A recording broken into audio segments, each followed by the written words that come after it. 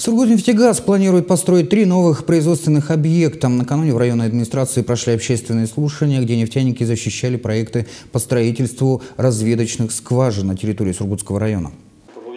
Камынский, Западно-Камынский и Айпимский. В пределах этих трех лицензионных участков компания намерена построить новые разведочные скважины. Значит, цель бурения – это разведка, назначение скважин разведочное, способ бурения роторный и турбинный, вид скважины вертикальный, Проектный горизонт Тюменская свита средней Юры.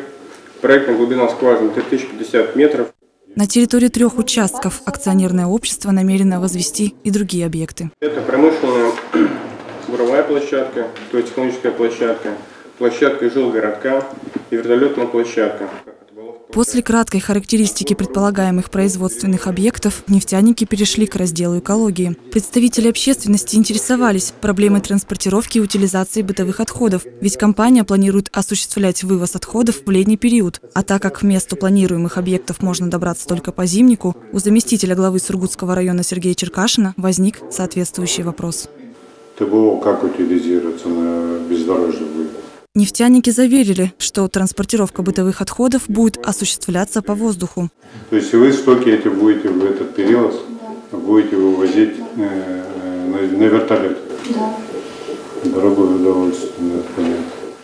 В итоге слушатели пришли к выводу, что воздействие трех промышленных объектов Сургутнефтегаза характеризуется как допустимое, и компания обеспечивает соблюдение нормативов качества окружающей среды. После выступлений присутствующие приступили к осмотру документации. Оказалось, что нет нескольких экономических соглашений о возмещении ущерба с коренными жителями.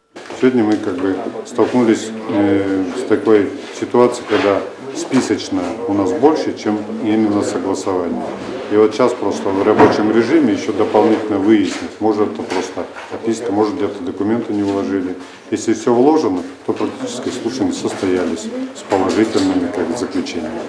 Проекты получили одобрение слушателей, но без должной документации их защита недействительна.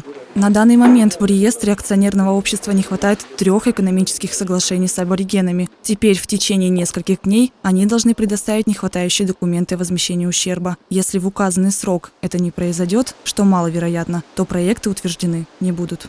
Алена Милина, Константин Алиев, телерадиокомпания «Север».